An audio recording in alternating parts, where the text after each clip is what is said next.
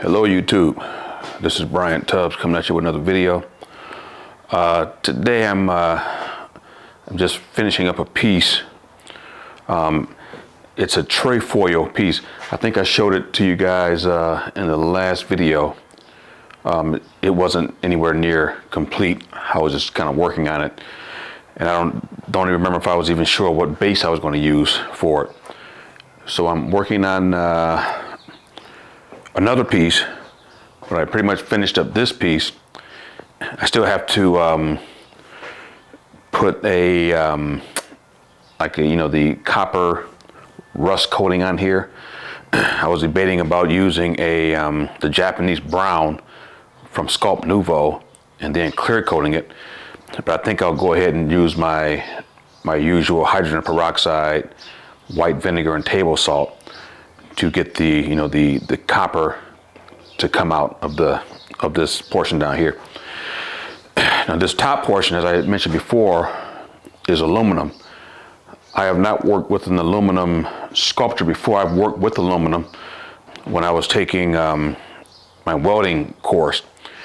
And I don't know if I mentioned it before, but the welding course that I took was um, we welded from eighth inch aluminum, mild steel, stainless steel, all the way up, all the way up to two inch, two inch thick armor plating. So we did all of that. It was accelerated course. It wasn't a, you know, full two year, 24, whatever semesters, whatever, whatever it is. This was an accelerated course. so we welded aluminum, we welded uh, stainless steel, mild steel, we, well, a lot of different material. we had all the access to everything because it was a small class. It was probably about 10 to 12 guys and girls in that class. It was very, um, it was a, just a close knit group of people, and we had access to everything, all the welders, everything. So I, I learned to work on aluminum at that point in time, and I welded some periodically between that time and now.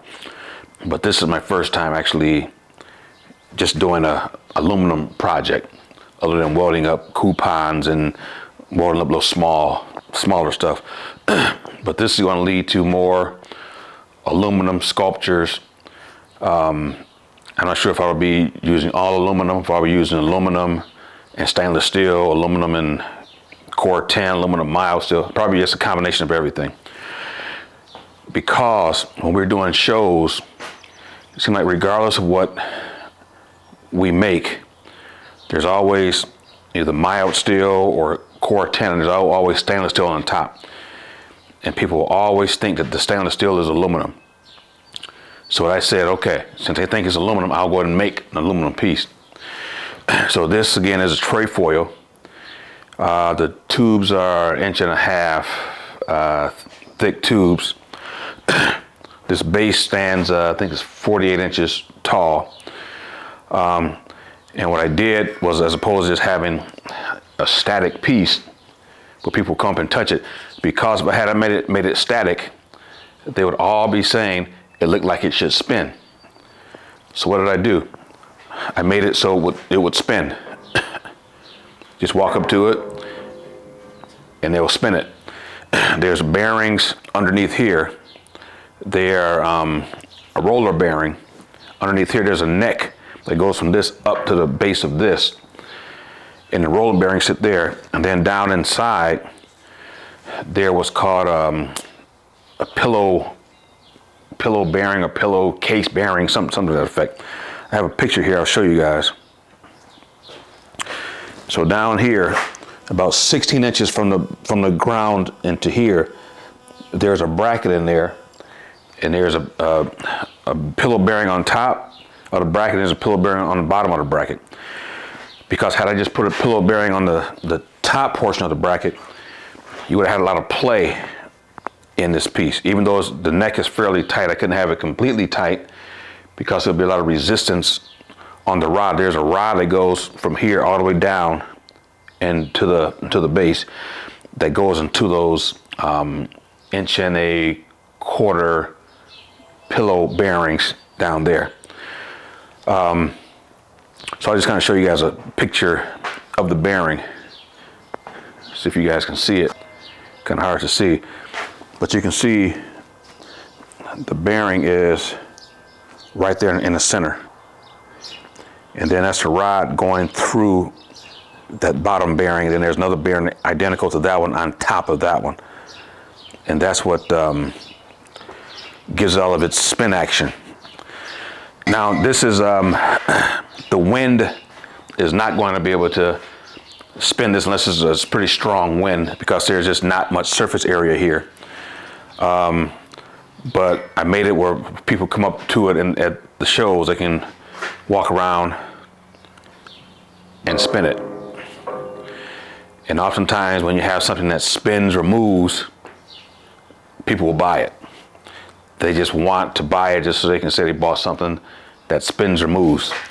So I went ahead and, like I said, added the spin effect to it. It just wouldn't look right.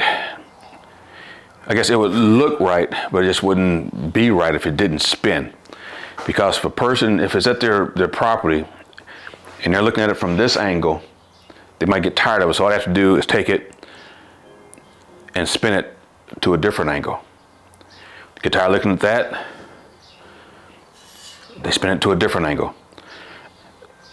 I'd rather spin like that than them having to take the, the whole base and move this thing. This thing weighs about 110, 115 pounds. And I don't want them to have to be taking the stakes out of the ground trying to turn this thing. So it's just better to just do it like I, like I did it. So this is a trefoil, but I'm not sure what we're gonna call it overall. Um, but I will be making some more. I might use thicker tubing next time. It could be stainless steel tubing, it could be aluminum. I'm not exactly sure yet, but I will be making another one. I made a small one for a tabletop. It was um, made out of carbon steel and we had to paint it and all that kind of stuff. And painting it was just just a headache trying to get in all the crevices and all this stuff. Every time you come into one side with a can, you would touch this this uh, this this um, this arm, and then you have to paint over it again, and it was just a mess. And then the paint wants to run because it's just so difficult to get in there to do it. Um, so from here on out, when I do these, I'll either use Cor-Ten, stainless steel, or aluminum. And if I use the Cor-Ten, I'll just let the copper patina come out and it'll all be uh, just one, one color. The base will be copper, the upper portion will have the copper patina.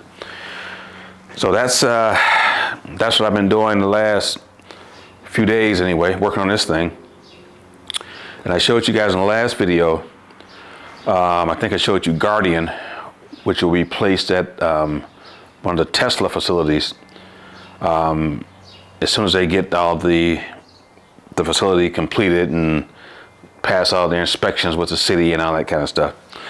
Um, and so I showed you guys also in the last video these two big loops that I was making. One was a loop that went like this. One had a loop and it went kind of wrapped around itself. Those are sitting outside, letting it, letting them weather. But in the center, when I cut the loops out, there was these shapes. They had a point on the bottom and came up and it rolled. That was right in the center of the loops. So I'm gonna show you guys what I'm what I came up with. My wife and I we came up with this this piece based on drops from that piece. Like I've told you guys in earlier videos, whenever you cut out one shape of uh, in metal to make a sculpture, always look at what's left over because you can come with some cool designs that you could not have thought of yourself. They just they just happen. So I'm gonna uh, kind of scan the camera down, let you guys kind of see what we're doing, what we're doing now. Okay, so this is uh, these are the the centerpieces from those big loops that I cut out. There was a, a front and a back because on each piece there was a front and back so this uh, went from two pieces, 2D, to three pieces. Um, they're com complete. So this is the uh, design. I have two of them. Um, they're slightly different, but almost the same, close enough to being the same. And let me show you guys the the rest of the piece, the, the bottom portion anyway. It's like an S pattern. And it's gonna sit on a base down here. I'm gonna have a base probably about that tall, um, or maybe a little bit taller than that. It'll be a flat base, but it'll be built up, so it won't have any angles or anything like that to it. It's gonna sit on it like that. And as opposed to having just sit on this point, I will have a, a, slight gusset coming off of here to support that. But it'll be cool to be a part of the art. It won't just be something stuck on there. So that's what uh, I'm working on now. I have uh, the other side of this up on a table. So I'm going to be uh, shaping the the outside metal in the English wheel, just get all the curves and whatnot. Then I'm going to start building it up. Um, and I'm going to show you guys one of the, uh, we, we call them leaves. I'll show you one of the, the one of the leaves uh, kind of up close, so you can see what I'm talking about. And this is what they, they look like. So they're 3D, and you see these, uh, the patterns in them. This is uh, Cor-Ten, but these, this pattern, these, these, these uh, veins are gonna be stainless steel rod. We're gonna have a 3 8 rod coming up the middle and then quarter inch rod coming off. Like we do, we have a, the piece we call um, leaf. Leaf is about six feet tall. I think I showed it, I'm sure I've showed it in another video. We had one, I would have been able to show it to you, but we uh, sold it um, last week to a uh, guy that um, has a law firm. He liked the piece so well that he just purchased it. The piece wasn't completely ready, but he loved it so much, he and his wife, that they bought it from us. It hadn't patina completely, it was just beyond this stage. Normally when we sell them, they're fully patina. You know, they have the, the brown copper look to them, but that one looked just a little bit darker than this but they wanted it, so they they bought it. So now after I make this one, I'm going to be making the one we call leaf. I know you guys have seen it.